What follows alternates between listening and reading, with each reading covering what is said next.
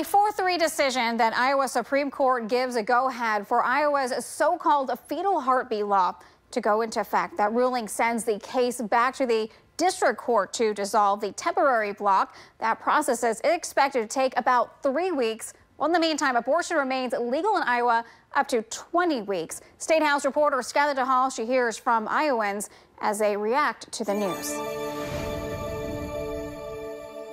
The Iowa Supreme Court's ruling now paves the way for Iowa's nearly six-week abortion ban to take effect. Those in favor of the ban are calling this a monumental day for the state, while some Iowa doctors say they aren't sure how to provide care now. It's devastating to think about. Soon, doctors will not be able to perform abortions once cardiac activity is detected, often about six weeks into pregnancy and before many women know they're pregnant. Following a year long battle in the courts, Maggie DeWitte with Pulse Life Advocates is now praising Iowa's High Court's ruling. I have been involved in pro life for over 25 years in Iowa. And to think now that we will finally have protection for children is is really hard to put into words. The law does outline exceptions, including documented rape and incest, when the mother's life is at risk, and fetal abnormalities.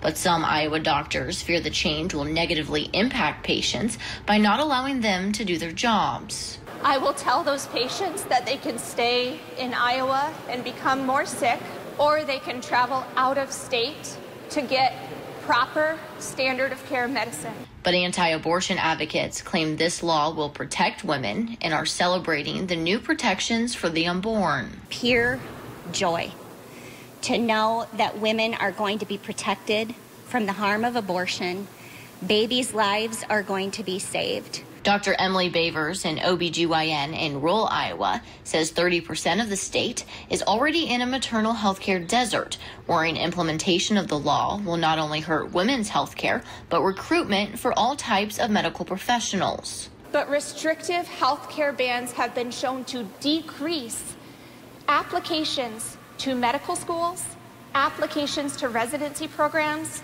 and limit recruitment and retention of skilled physicians. At the Iowa Capitol, Skylar Law reporting.